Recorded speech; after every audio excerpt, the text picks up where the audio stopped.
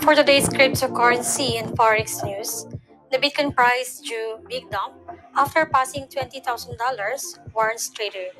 Gold cheers weaker dollar but eyes sixth month of losses. Dollar edges lower. Australia's economy continues to perform well.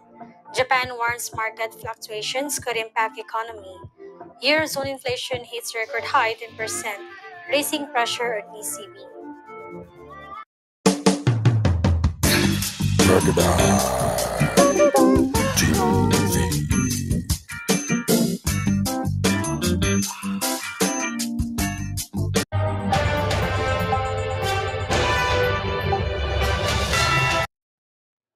Bitcoin price levels as high as $20,500 could make an appearance today, but, the outcome will be to the downside.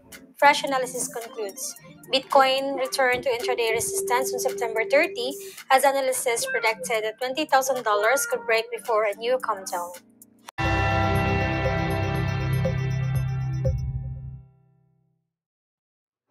Gold prices rose slightly on Friday as pressure from the dollar eased further, but were set for a six straight months of losses as rising interest rates severely dampened the outlook for the yellow metal.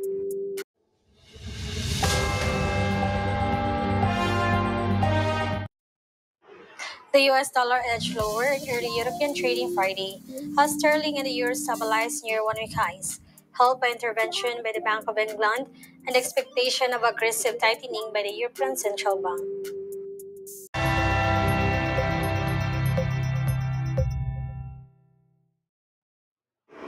Australia's economy continues to perform well, and retail sales rose 0.6% month on month, above the consensus of 0.4%. This was lower than the super strong gain of 1.3% in July, but household spending appears to be holding up despite the Reserve Bank of Australia rate tightening cycle and high inflation.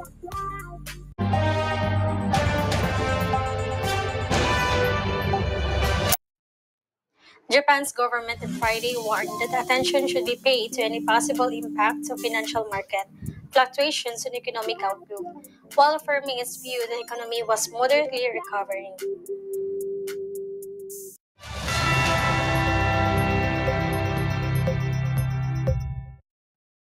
Eurozone inflation zoomed past forecast to hit a fresh record high this month, reinforcing expectations for another jumbo interest rate hike from the European Central Bank in October.